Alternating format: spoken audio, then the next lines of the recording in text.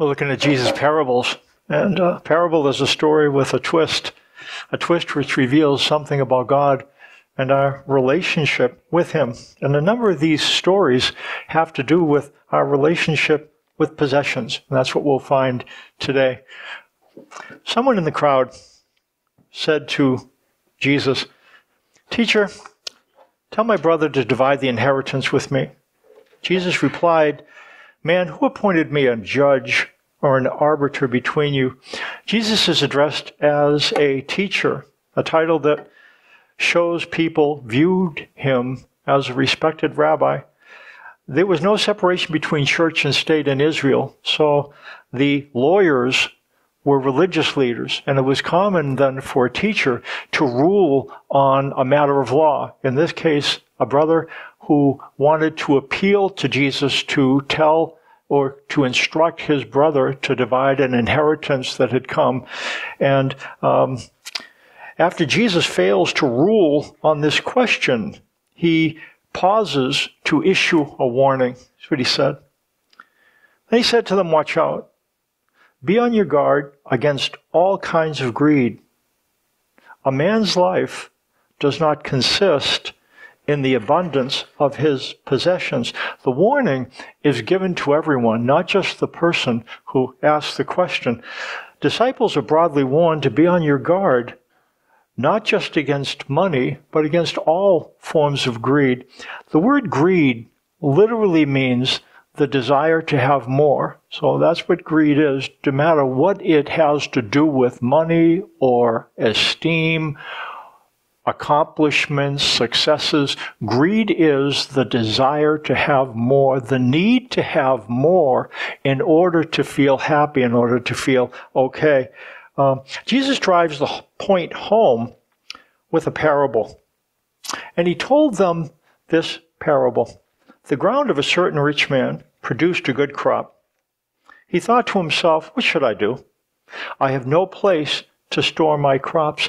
This farmer would have been kind of seen as being especially blessed by God. The harvest for the year was exceptional, leaving him in a really favorable situation. It's important to note, though, that there's no sense with this guy of cheating or doing something wrong. No sense of immorality. He seems to have come by his wealth honestly. And because he comes by it honestly, it's a little bit disturbing then, the, the, in the course of Jesus' comments, uh, he pictures this guy, explains this guy as, well, he thought to himself, what shall I do? I have no place to store my crops. Then he said, this is what I'll do.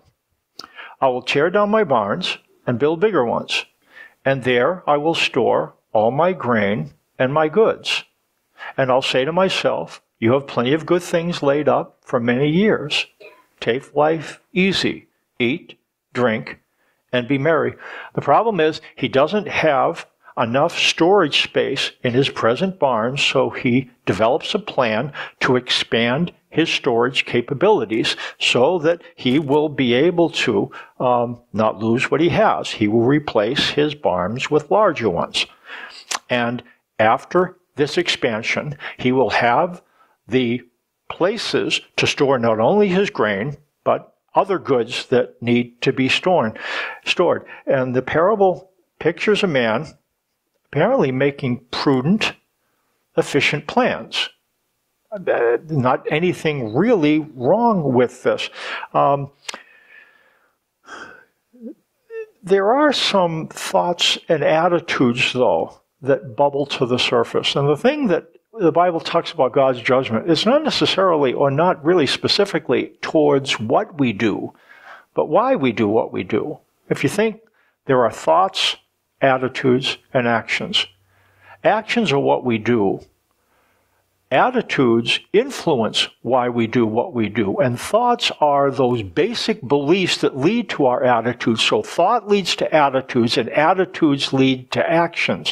When we judge one another in a court of law, we really can only judge actions. We don't judge thoughts and attitudes.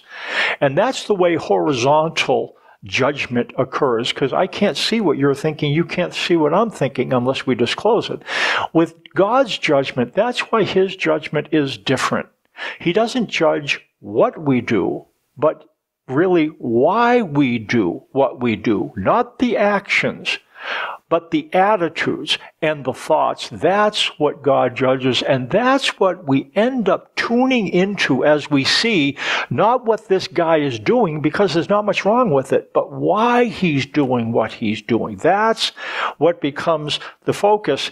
Um, and we see a couple of things. The we see him my barn, my goods, my soul. There's definitely a selfishness. But, you know, on the other hand, if you work really hard, it's not uncommon for you to see the fruits of your labor as being yours. You know, I did this. I worked for this. And that's what this guy did. Uh, so there is a selfishness about him. Um, and the Bible does tell us about that. It talks about people who are rich. Um, that's what it says. Command those who are rich in this present world uh, to not not to be arrogant, but to nor to put their hope in wealth, which is so uncertain, but to put their hope in God, who richly provides us with everything for our enjoyment. Command them to do good, to be rich in good deeds, and to be generous and willing to share. In this way, they will lay up for themselves treasures as a firm foundation for the coming age, so that they may take hold of the life that is truly life. With respect to the goods that this person has amassed, the Bible doesn't indicate that money is evil. But the love of money is the root of all kinds of evil. And so, what it would indicate then, somebody who loves God and puts their hope in God rather than putting their hope in money will evidence that one way by being generous and willing to share, not hoarding, not stocking. And we might see that this guy then is culpable because that's kind of what he wants to do. He wants to kind of gather it up and amass it. Um, the man's actions, again, are not judged, but what happens is his attitude and his motive. He wants to take it easy and eat and drink and be merry. He wants to accumulate what he's accumulated so that he can use it to bankroll pleasure, relaxation. And that's the, it's, it's not what he was thinking. It's what he was thinking, not what he was doing, that ends up being the problem. And here's what God ends up saying to him God said to him, You fool, this very night your life will be demanded from you then who will get what you have prepared for yourself? This is how it will be with anyone who stores up things for himself, but is not rich toward God. A fool is a person who either acts without God or acts without wisdom. It's somebody who is assuming that I only need to worry about this when there's a whole raft of things to be concerned about. There are two questions which this guy fails to take into consideration seriously, and Jesus kind of brings those to the surface.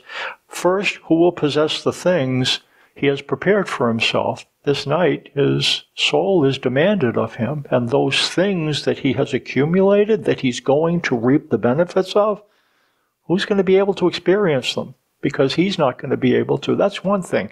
Second thing is, how will he settle accounts with God? There's a sense of accountability for the life that was given him. And um, God demands an account of the man's mortal soul, his grain and wealth cannot pay his debt. I heard somebody put it this way divine scrutiny of the life given will not be concerned with barns bursting at the seams. What he would commend as being, boy, I'm in a really good spot, is not the same thing that he's going to be able to express to God. He might point out barns bursting at their seams, but that's not going to be a satisfactory answer for God. This is a you can't take it with you parable. How do we apply this? What do we do with this? Is it okay to retire? Is it okay to have a retirement account? Is it okay to get storage units? It's, we, we can't just think about what we do, but why we do what we do. Let's do a couple of applications. Number one, let's apply it at the time when Jesus spoke it. Let's apply it in the first century. The cost of following Jesus in the first century was heavy. And those who left their families to follow Jesus as disciples in the first century paid a pretty heavy price for doing so. Uh, Jesus had a couple things to say, and I'm going to point out a couple verses in the Bible. I believe these are shepherd verses. The Bible has some shepherd verses and some sheep verses. Shepherd verses are verses that are directed to those in positions of spiritual influence. Those in positions of spiritual influence at Jesus' time had a heavier level of authority. There was more expected. Jesus has some very hard things to say. I don't think he's speaking to sheep, who I think he's speaking to shepherds. Here's one of them. Remember, those earlier days after you had received the light, when you stood your ground in a great contest in the face of suffering. Sometimes you were publicly exposed to insult and persecution. At other times, you stood side, side by side with those who were so treated. You sympathized, sympathized with those in prison and joyfully accepted the confiscation of your property because you yourselves had better and lasting possessions. In the first century, to choose to be a disciple of Jesus and to choose to be a Christian was to commit financial suicide.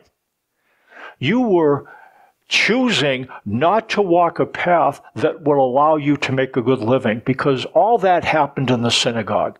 And in the first century, if you as a Jew become a Christian, a follower of Jesus, you were no longer welcomed into the synagogue. And that was the place that you interacted with people socially. And that's the place you made business agreements. And so you were walking away from social security into social insecurity. That's not always always the case today. In the first century, it was.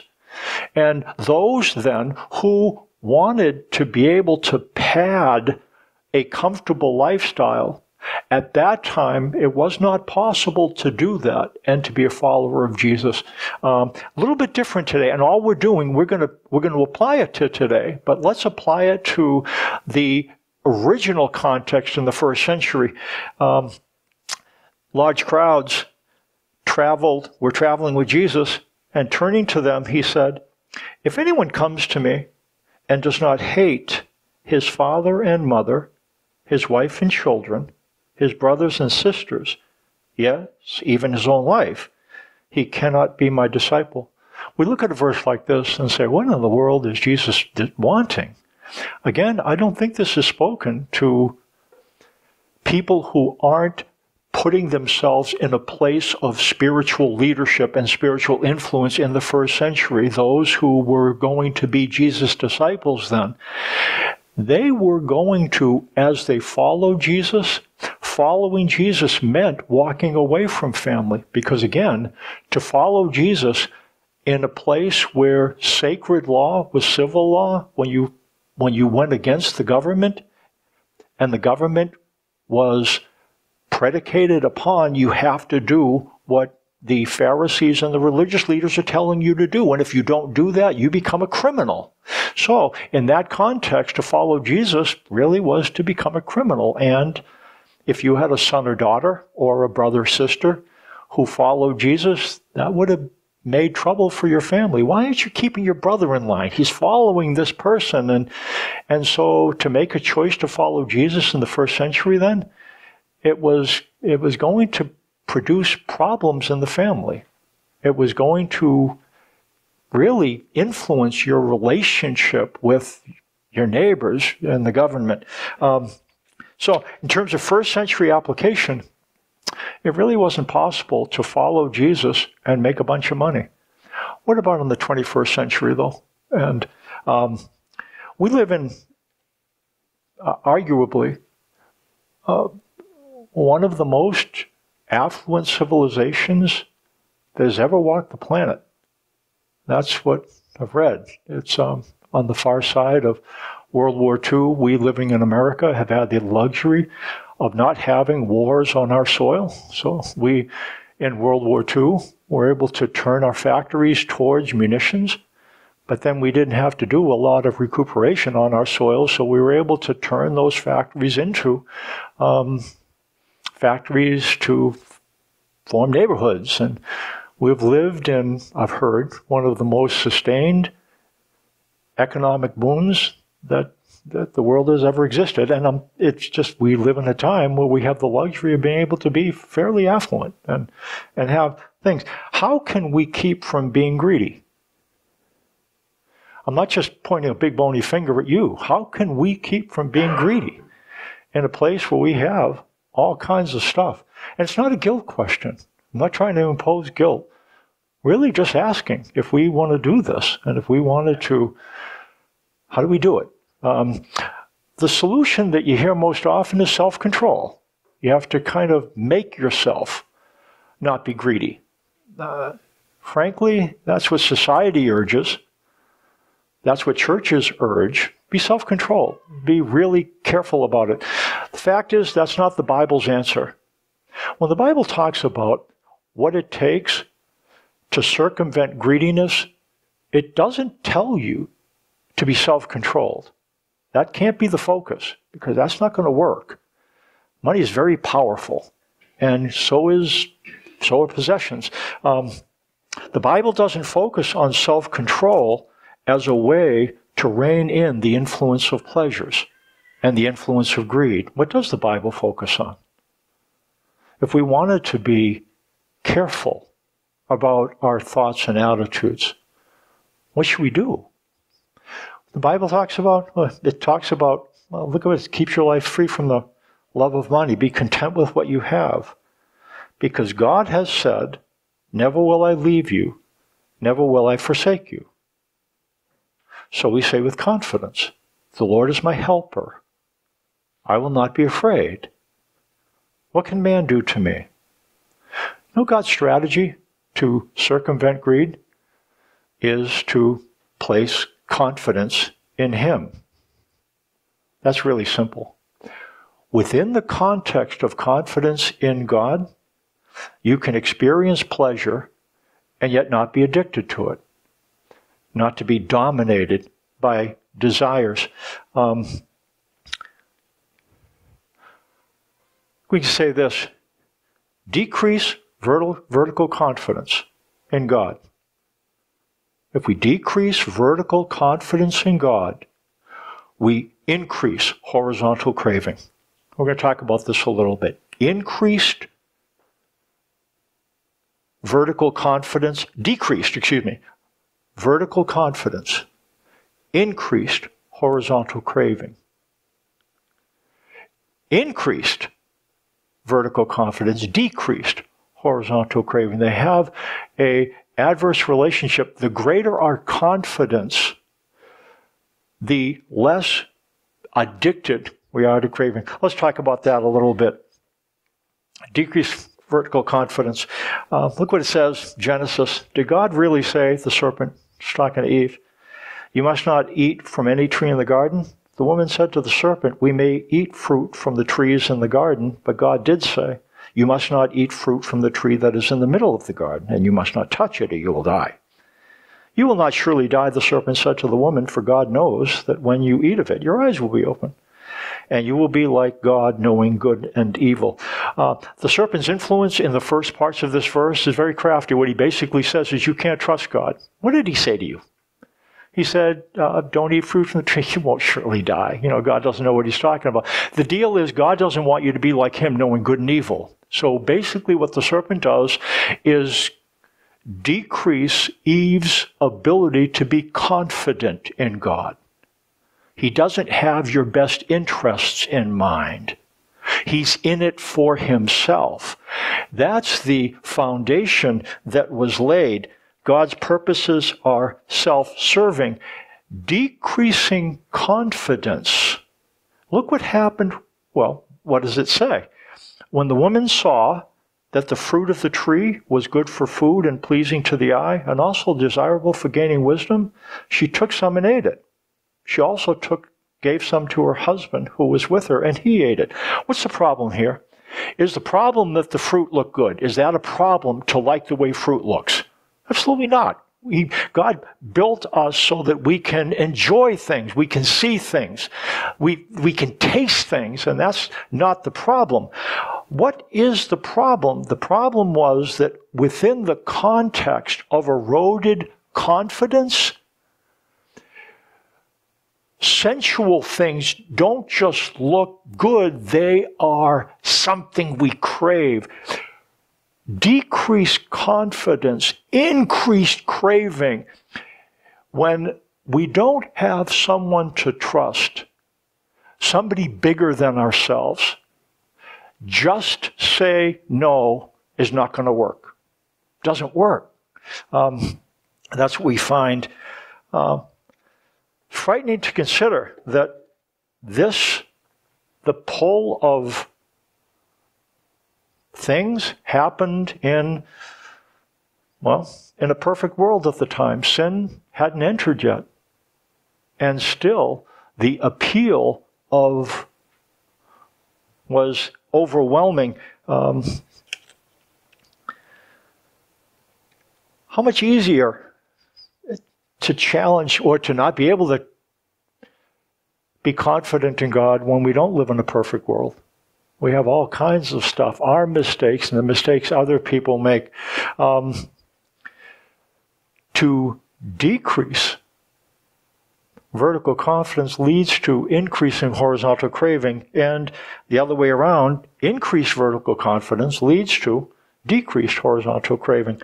What it says, for the grace of God that brings salvation has appeared to all men. Grace means God doing something that we don't deserve, giving us the basis of being able to trust Him, not because we've earned the things He's giving us, but because He just wants to give them to us, because that's His character. God gives.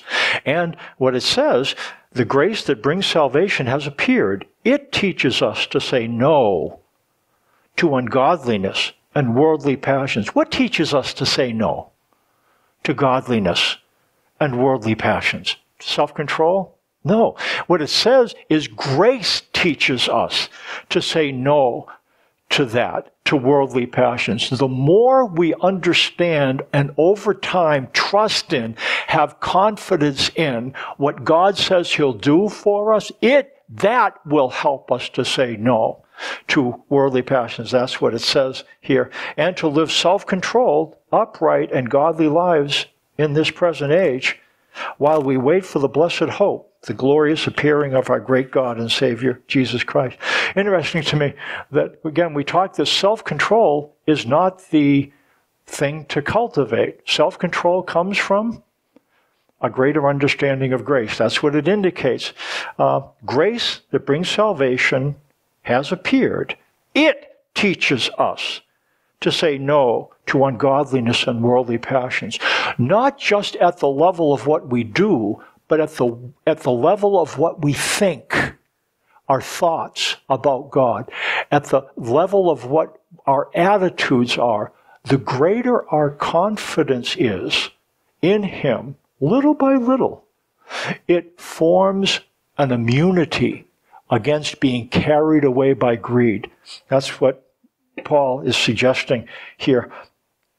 Um, there are many who want to be want to move away from being dominated by desires, if that is our goal, um, we're going to have to develop an interest in being confident of God's support. We're going to have to be serious about learning His promises, putting the weight of our confidence in what God promises to us. Because with respect to something that's not going to just change what we do, but why we do it, that is what Paul suggests and Jesus is going to suggest is the answer. Increased vertical confidence leads to decreased horizontal cravings. Um, says at one time, Paul writes, we too were foolish, disobedient, deceived, and enslaved by all kinds of passions and pleasures. We lived in malice and envy, being hated and hating one another. But when the kindness and love of God, our Savior, appeared, He saved us. Not because of righteous things we had done, but because of His mercy. We're going to close. There's an article that comes from Hebrews 13:5. If you want to follow along, I'm going to read that, and we'll we'll think about that as we close. Uh, we can't live without money, but it's not okay to love it. How can we tell if we love money? It says, keep your lives free from the love of money. Be content with what you have. Because God has said, never will I leave you, never will I forsake you. The decision to follow Christ cost the first Christians dearly. Converting from Judaism to Christianity amounted to committing financial suicide. In this honeymoon stage of their newfound faith, those believers had joyfully accepted the confiscation of their property because they knew they had better and lasting possessions. As time wore on, many Jewish Christians came to a crossroads. They found it increasingly difficult to offset the reality of earthly hardships with thoughts of heavenly bliss. Financial hardships made it increasingly difficult to hang on for heaven. Some of their friends were choosing to abandon Christianity in order to return to the financial security that Judaism afforded. Two roads stretched out before them. And the in money we trust road led them to find shelter in wealth from the uncertainties of life. The in God we trust road encouraged them to find refuge in God rather than in money. Keep yourselves free from the love of money and be content with what you have is an encouragement to trust in God and a warning against relying on wealth for provision and protection. Greed wasn't much of an issue for first century Jewish Christians. They didn't have enough money to prime the pump of greed. Greed wasn't their problem. Hopelessness was. Because they lacked material resources, they felt exposed and vulnerable, unprotected from the uncertainties of life. King Solomon was the king of Israel when the nation was at the zenith of its security and strength. He revealed that the pursuit of wealth is connected with the search for security. The wealth of the rich is their fortified city. They imagine it an unscalable wall. Solomon observed that wealth gives a sense of safety and security, like living in a fortified city or behind an unscalable wall. Money promises to protect and provide for those who seek shelter in it. In this respect, money makes God like claims. God promises, Never will I leave you, never will I forsake you. He assures us that He will neither let us go nor leave us behind. Money also promises never to leave or forsake those who trust in it. The difference between God and money is that God keeps his promises. Solomon exposed the deceitful character of riches. Cast but a glance at riches, and they are gone, for they will surely sprout wings and fly off to the sky like an eagle. We are constantly bombarded with messages linking wealth and security. We are encouraged to feel safe with money. This is a mistake. People who want to get want to get rich fall into temptation and a trap and into many foolish and harmful desires that plunge men into ruin and destruction. For the love of money is the root of all kinds of evil. Some people eager for money have wandered from the faith and pierced themselves with many griefs. Money is inherently addictive. Loving money is like loving narcotics, op- opioids. Narcotics have beneficial properties, However, they are to be used cautiously. In full realization of their addictive properties, they possess. Money is a spiritual narcotic. Rather than hunker down inside a bank account, Solomon exhorts us to find refuge in God. The name of the Lord is a strong tower.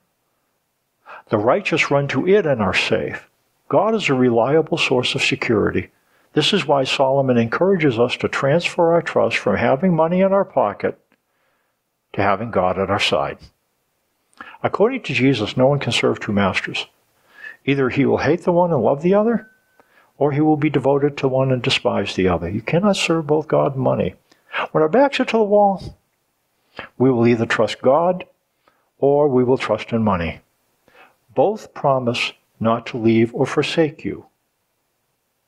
One of them never will. Let's stand for closing prayer.